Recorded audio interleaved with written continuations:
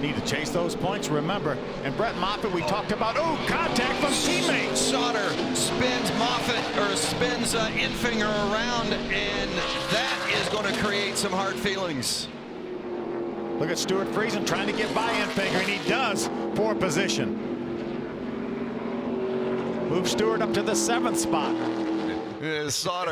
Uh, Sauter gets into that uh, right rear of Enfinger and spins Enfinger around. Fortunately, no wall contact for Enfinger, but you got to believe he's not too happy with the way his teammate drove him right there. Nice job by Enfinger keeping that thing out of the wall, like you said, keeping the engine running, and was able to only lose one spot, still inside the top 10.